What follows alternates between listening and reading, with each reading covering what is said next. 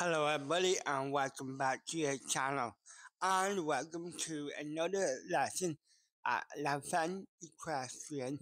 In today's lesson I'm practicing how to refine my riding aids to accommodate not only my weak side but also the horse's weak side.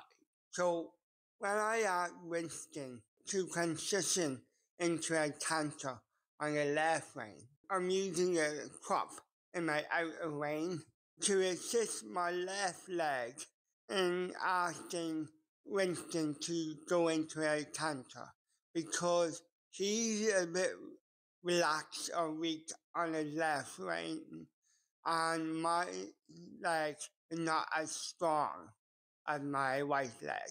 So I need the aid of the whip to remind Winston to transition. I really hope you enjoy this video. Thanks very much. Bye.